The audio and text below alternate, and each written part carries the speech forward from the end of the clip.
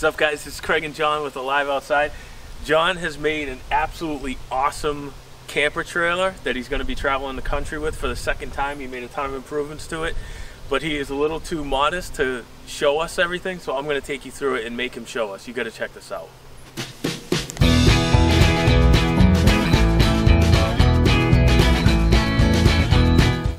So a handful of years ago, a really close friend of mine, like a brother to me, um, he gave me a deuce and a half trailer. Uh, it was camo, it had been sitting in the woods, and uh, he gave it to me for nothing, and I, and I wanted to turn it into a camper trailer, uh, but kind of an adventurous camper trailer. So spent a, I don't know, handful of months, I've been tinkering on it on and off throughout the last couple years. Last year we went, I don't know, seven or 8,000 miles, a three week trip. We went all the way across country, um, all the way out. We're in New Hampshire. We went all the way out to Yellowstone. We went to Glacier, the Badlands. We just, we saw a lot of stuff. And we were a couple of days from being home and I lost the bearings in one of the axles and the, the, the hub, the tire, everything actually flew off the trailer. Thank goodness no one was hurt. Um, but we ended up having to port, tow the whole thing home on a U-Haul for the last day and a half. Um, no messing around this time. Brand new BF Goodrich tires, a full floating oil bath axle. Uh, I just didn't want to worry about it on this trip that's coming up. So what's up front here? That you got the you got a windshield with a pretty cool sticker on the front.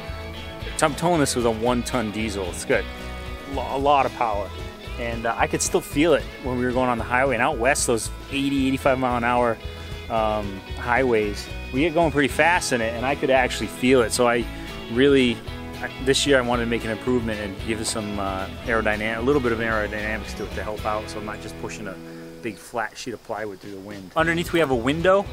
Um, this actually lifts up and props up and it actually provides cover. We got our Yeti coolers. I've had these for a long time. I bought these before it was cool to have Yetis. Um, some homemade boxes for storage. This is actually a, a, rack that would normally slide into the, the hitch on a truck, but I took that part off and just bolted it down permanently. On the Deuce and Half trailers, they come with a uh, pintle hitch, which isn't very smooth. It clunks around, so I, I, and it was heavy, so I cut the front wheel off and the front um, pintle hitch and, and welded on a standard hitch. I like this style um, because it's very clear if the ball if the ball goes up inside and it closes and slides over it's very obvious that it's on the ball with the other style with the little tongue that catches the ball sometimes that can go up high and the ball actually sits on top or the, the tongue sits on top of the ball and it looks like it's on but it actually can come right off these in my opinion this is a safer hitch for a ball so when you when you got this thing it was just the body right here, right? There was nothing above it. It was just a pickup bed. And I did a little bit of rust repair. I stripped it down and I painted a desert tan. And then uh, I built out of wood the walls. I mean, it's actually very crude, but I, I, wanted just more like a cabin feel, like something you didn't have to worry about just screwing hooks into and and uh, and you not worrying about things breaking. So how was it held on? You got like bars going across inside, right?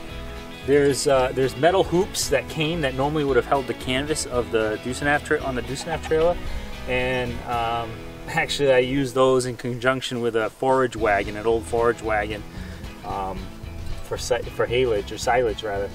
But there's hoops that go up and over, and uh, and the, and I've got carriage bolts holding the wood all the way over, plywood on the front and back. I just took a screen door and actually cut it down, shortened it, and then reinstalled the screen. Um, so we have like a short man door. So how do you, you, you hooked up a grill on the back, like an actual state park grill. This is like a no joke thing. Yeah, this is uh, by Pilot Rock. So these are the same grills that you'll see in state parks, um, where you can come up. They usually pivot, and you can uh, put charcoal in them. So show how this thing works, though. So we were camping a lot with a big tent and we were getting tired of, of, all the effort it took to set it up and take it down. So what I wanted to make this trailer, I wanted to make it easy to, uh, to set it up. So everything is on hinges. The grill swings out. There's a table that sets up quickly. Drop the tailgate. go inside the trailer, grab the ladder, and uh, it's actually made from a, an aluminum ladder that was doubled up with, with treads placed on it at the right height. And, uh, and it's good to go. Beyond the charcoal grill, we wanted to be able to quickly heat up coffee uh, and tea and, and, whatnot in the morning. So we set up a, uh, a, nice burner with a small propane tank, and it works really good. So show me inside. I mean, don't you get hot in this thing?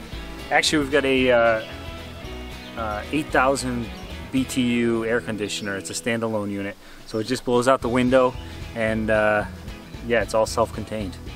So we are a family of four, and we wanted, um, you know, to make maximize the space for sleeping. We ordered a California King mattress from Amazon, and those come in really tight and tight roll, all vacuum sealed, and we slid it right in the door opened it up, cut it open, and it expanded right here in place.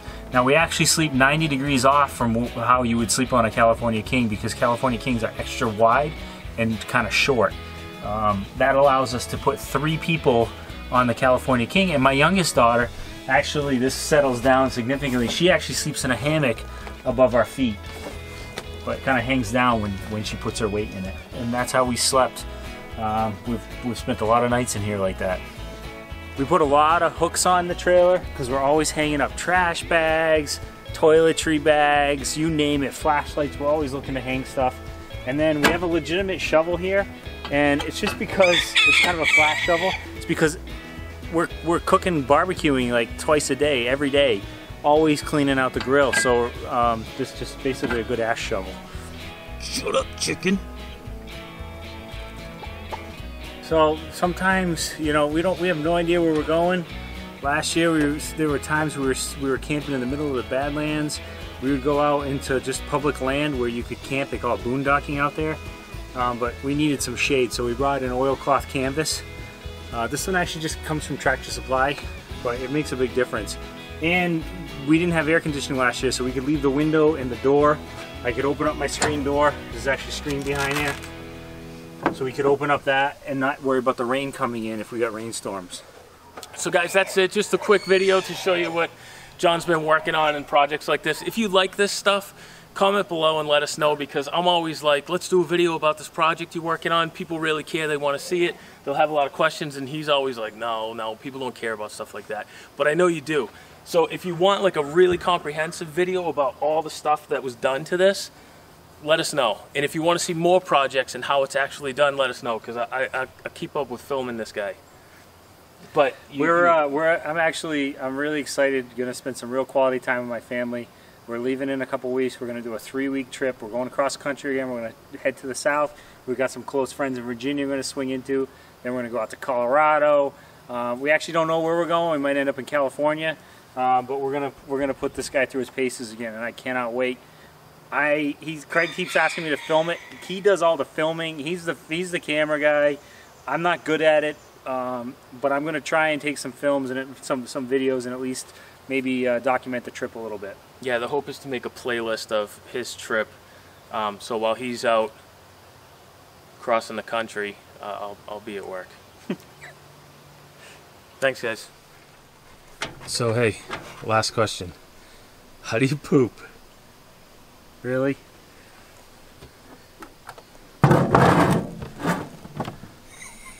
Luggable Loo. Most of the time it's big enough.